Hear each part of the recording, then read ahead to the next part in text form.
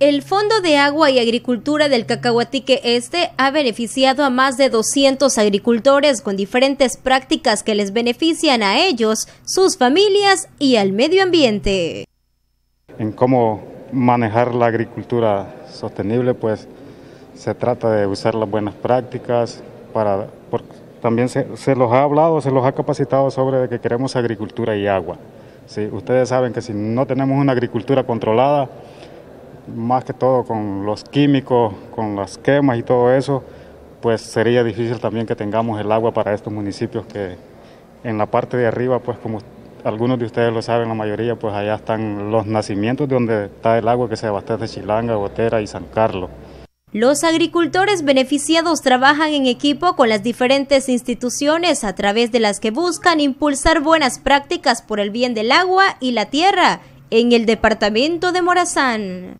Somos 198 agricultores estamos trabajando con las buenas prácticas, lo cual pues llevamos dos años de estar trabajando en eso y esperamos que seguir impulsando esos proyectos a, futuro, pues seguir involucrando más agricultores, porque hay algo otros que sí es bueno incorporarlos al grupo porque es necesario de que mantengamos las buenas prácticas y más que todo cuidemos nuestro suelo, que es el futuro a nuestras generaciones. Las alcaldías municipales de San Carlos, Chilanga, San Francisco Gotera y las diferentes instituciones que conforman del FOA Cacahuatique, este día brindaron una rendición de cuentas.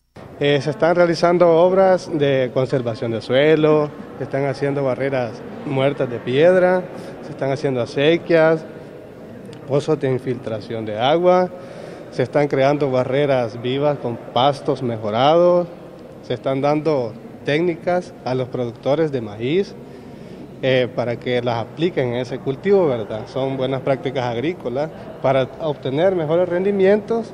También dieron a conocer los proyectos que pretenden desarrollar en el próximo año para beneficiar a la población morazánica.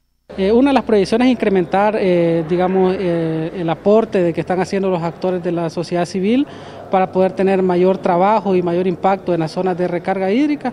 Esto llevaría un incremento en el presupuesto, por lo tanto tendríamos más acciones eh, a desarrollar en el territorio en pro de la conservación de los recursos suelo y agua.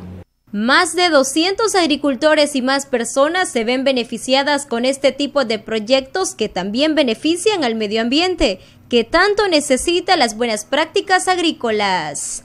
Para Sol TV Noticias informó Yasmin Ramos.